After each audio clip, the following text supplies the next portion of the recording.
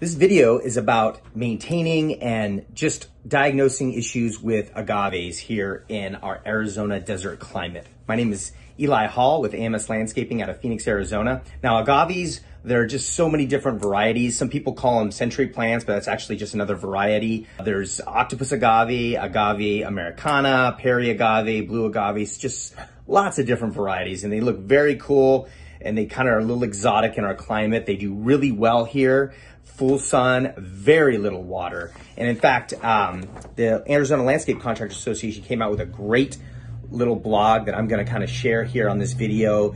Um, things that I just thought were very important to share as far as concerning what, you know, what kind of happens to uh, agaves if, um, if you don't see them doing too well. But just to start off, you know, you want to make sure that they have very good drainage. These plants cannot be sitting in um, in water in any any type of water. They're better on slopes or just areas that just have you know where the water doesn't sit. It's very important for that. Uh, the roots will just kind of get moldy and, and die. You can really see that usually over time. The irrigation, they only require water like one or two times a month, even in the full uh, heat of the summer here in Arizona, and maybe only, you know, once every, you know, four to six weeks in the wintertime. So they really require very little water. They get a lot of the water from rain when it rains a few times. It does rain here uh, and it absorbs it into the skin of the leaf. So they require very little, uh, no fertilizer. No, I mean, I yet to fertilize an agave uh, up to this point here. They love the sun, like I said. There's only two major insects that really kill agaves.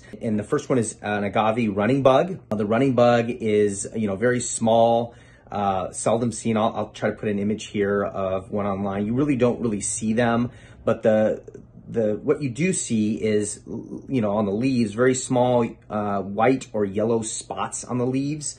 And that's usually a sign that you're you're dealing with that. And there's actually you can use an insectical insectical insectical soap I'm probably saying that wrong or just a broad spectrum insecticide that you can purchase at you know any nursery or um, maybe like a bug and weed mart here in the local uh, Phoenix area the, the one that is really concerning, uh, that is really untreatable is the, is the um, snout weevil. Now, we've run into these a lot, um, and usually by the time you notice it, it's usually too late. Um, the, the, you'll see them starting to wilt, and it's because what happens is this weevil actually, they're about an inch to an inch and a half long, and they, they go, the females lay eggs in the heart of the agave, and, and their uh, larvae just kind of feed on that after they hatch, and, you know, it'll just naturally damage the agave. And by the time you notice it, it's kind of too late. So the best way to treat that is just to remove the plant and just, you know, clear the area out and, um, and, and you know, obviously once the, the bugs leave the, the infested area, you can probably plant something else.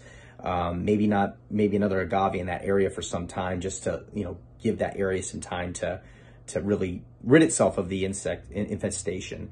Agaves are a monocarpic, which is, it just means that they bloom once and then they die. I, you know, that's kind of common knowledge here. Um, if you get a big bloom on like a century plant, you'll see them, they just look beautiful, but after they bloom, they're, they're done.